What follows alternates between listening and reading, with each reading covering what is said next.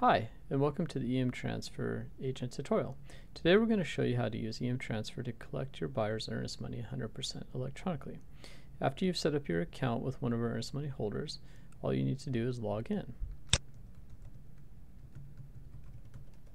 After logging in, what you will see first is any transfers that you have set up. The date you created it, who your buyer is, what property address it was for, how much earnest money, what was the acceptance date and time on the contract, who the what the current status is and who your earnest money holder is. To create a new transfer, all you need to do is click on the new transfer button. After you do that, you have two steps to complete. The first one is to identify who your buyer is. If your buyer has not used EM Transfer before, you will enter in their contact details here. If they have used it before, they will be in your existing buyer list. Today we're going to pick Joe Johnson. After you pick your buyer, now you're going to provide us with the information about the real estate transaction. First we'll need your property address, then information off the purchase and sale agreement, so the date it was drafted, the acceptance date and time on the agreement.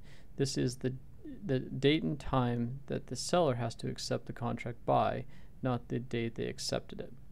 The date you expect it to close, how much earnest money you're going to collect, when to collect it. So upon receipt, which means when the buyer provides their bank details. Upon acceptance would be when the buyer and seller have accepted the contract. Or you have the option of option of other. And here you can write in what the other reason is. A common example in the last few years was upon short sale approval. Today we're going to use upon acceptance. Then you're going to pick who your earnest money holder is. Uh, you can be connected to more than one earnest money holder, and today we're going to pick your title company. After you pick the title company, then you're going to be prompted with a list of closers. And you'll pick the closing team that you're working with. Lastly, you're going to put in the seller's name. After you've entered in all the required information, you simply click on the Submit button. After doing so, we'll prompt you and let you know that we've sent an email to your buyer requesting their payment information. At this point, you have a couple of available actions to you over here. One, you can send a reminder to your buyer. If you need to start over, you can cancel this transfer and start over. Or you can click on the Close Transfer button, which will take you back to the view of all the transfers you have set up. And now we see this new transfer for 8500 uh, First Street. After you set up the earnest money transfer record for your buyer, we will send them an email letting them know that we need their bank information. In this email, they can click on this link it will prompt them to log into their account at EM Transfer. If they've not used EM Transfer before, they will be prompted to set up their account with us at this time. We'll log in as the buyer now. After the buyer logs in, they will see the information that you entered for them. They can verify that the property address is correct, how much earnest money is going to be collected is correct, and who's going to be holding the earnest money. All the buyer has to do at this point is click on the step 2 button and this is where they will provide their bank details. If it's the first time they've used EM Transfer, they will not see this option of selecting from an existing account. Rather, they will enter the bank information down here. If they have used EM Transfer before, they can pick from an existing account. If they're not sure where to find their bank account information, they can click on the Help button and we'll show them where to find it on a check. Once they've provided their bank information, they click on the Submit button and at this point, we will prompt them with terms and conditions that come from the earnest money holder. Part of these terms and conditions will authorize the earnest money holder to electronically debit or credit the buyer's bank account. And there may be other information in here, such as how a earnest money dispute may be handled. At this point, all the buyer has to do is click on the Accept button.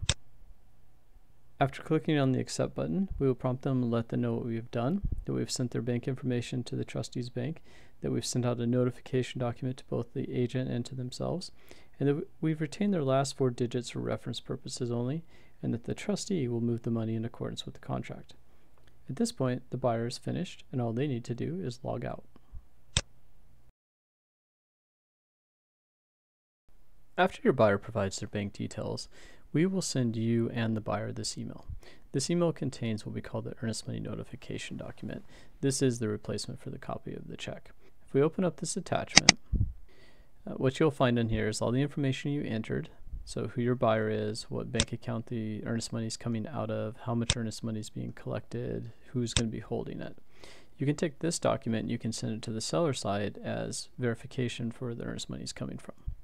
Additionally, the earnest money holder may attach other documents here that they want communicated or signed by the buyer and or seller. So for example, if uh, how an earnest money dispute might be handled, uh, maybe put in this document need to be signed by the seller as well. So please always check the second page to see if there's anything you need to include with the purchase and sale agreement that you're sending to the seller. At this point, we need to know if the offer was accepted or rejected by the seller. Once you have an answer to that, you log back into your account. You'll open up the transfer, in this case for 8500 First Street. We'll see that the status is waiting for acceptance. And over here you have some available actions. You can let us know if the offer was accepted, rejected, and you can still cancel it at this point. If you choose offer rejected, this will simply cancel everything at this point and no earnest money will be moved. If the offer is accepted, which is the option we'll choose now, when you click on it, you confirm that it was accepted. Once it's saved, you will see now this, the status of the transfer is verify the contract is signed.